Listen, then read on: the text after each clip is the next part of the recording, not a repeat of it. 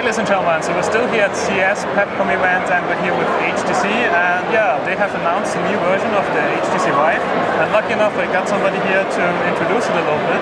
Could you quickly introduce yourself? Yeah, of course. My name is JB Macri. I lead product marketing for HTC Vive and um, we're really excited to have announced the Vive Pre today. Vive Pre is the second generation Vive developer kit.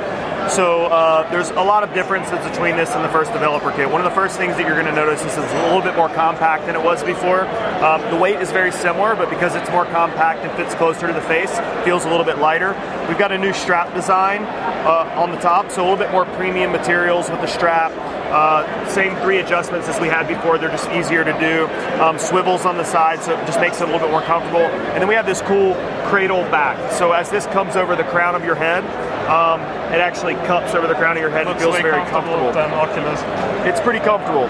And then here we've got interchangeable gaskets for your face, interchangeable nose gaskets as well. So it means that no matter what facial shape you have, we should have something that fits you well.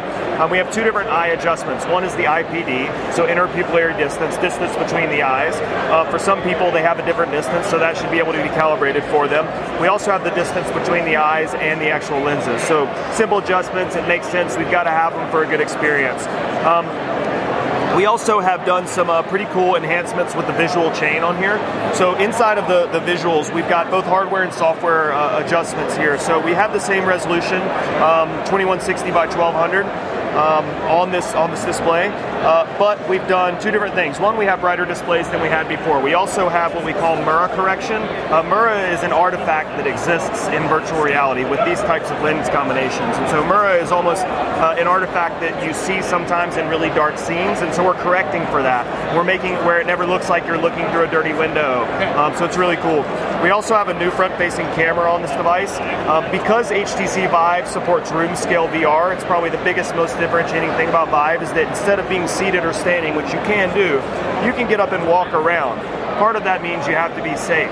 So we've included a chaperone system that warns you when you approach the perimeter of a play space. Well, now since we have the camera, we have the ability to take objects from the real world and project those inside of the virtual world. So if you wanted to take a seat, you wanted to pick up your drink, you wanted to carry on a conversation, you can do all that now without removing the headset. So really cool. So that's the new headset. We also have two new controllers. Um, this, the, the, kit will ship with two controllers, two base stations, and a headset because it provides the best tracking experience possible. And that's what we're it left focused and right? Or? Yeah, they're left and right. Okay. Um, so we've got a, a, trackpad, a couple of menu buttons here, a new dual stage trigger, so you'll feel a little click at the top. Um, grip sensors on the side. Uh, it's up to a developer to figure out what they want these sensors and, and, buttons to do, so it's kind of up to them to do whatever they want. You have a new sensor array up here on top, so this is how it tracks. And because this new sensor array and the new base stations, we have better tracking than before. Um, it's very balanced in the hand. You can see it's very centrally balanced. Doesn't feel too heavy on the front or the back. Um, included batteries, so it, uh, uh, built-in batteries, rechargeable by micro USB, at least four hours of runtime with heavy use. Um, so very, very cool, very functional, really comfortable uh, controllers. We also have new base stations, so this is what is required for the headset to actually and the controllers to track. Is it included in the kit? These are, yeah, all five components are included in the kit. So what you do is you take these base stations, you put them up in the corner of the room, and they project into the room and it allows you to track the system. The cool thing about these new base stations is they're designed a little bit differently. Um, they only now require power. So used to you had to have a cable that connected these to them to each other. Now they can be run wirelessly. Um, they're also quieter than before and have less vibration. So now with the new the new base stations, the new controllers, the new sensors, and the new design, we have better tracking than we did before.